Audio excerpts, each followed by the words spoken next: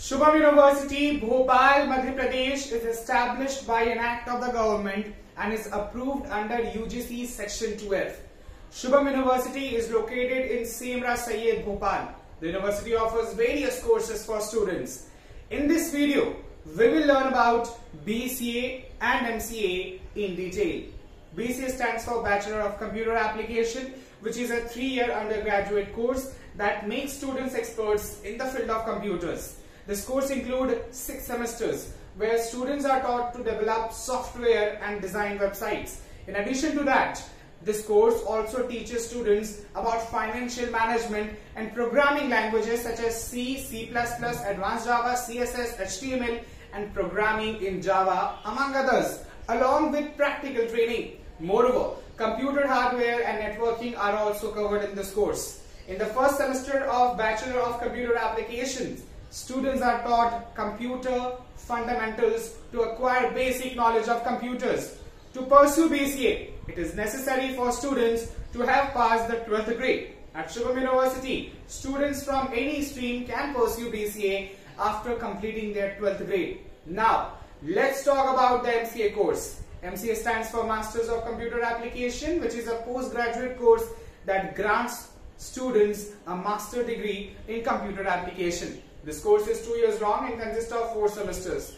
The MCA course provides students with advanced education in computers and programming languages. After completing the MCA course, students become computers experts. They learn about artificial intelligence, machine learning, software engineering, application development, computer fundamentals, web designing, and networking. This course helps students in securing good job opportunities since MCA is a master's degree and it leads to faster salary increments. MCA is a master's degree course and it is mandatory for students to be graduates to actually take admissions in this course. Students who have completed BTech or BSc in computer science or BCA are also eligible to pursue MCA. For students who want to build a career in the field of IT, pursuing the BCA and MCA courses at Shubham University will be highly beneficial. After completing BCA and MCA, students have job prospects not only in India but also in foreign countries.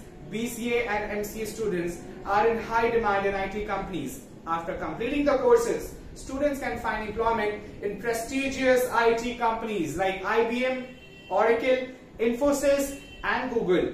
They can work as system engineers, junior programmers, web developers or system administrators.